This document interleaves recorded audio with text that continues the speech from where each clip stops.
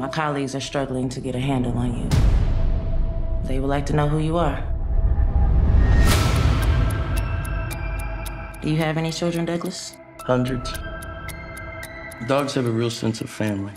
They rally around in the bad times and form a solid, united entity.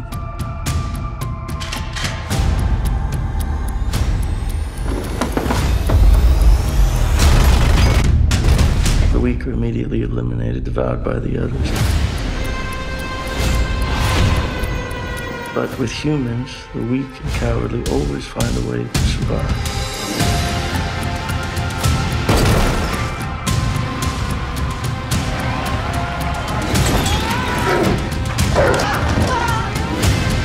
Oh!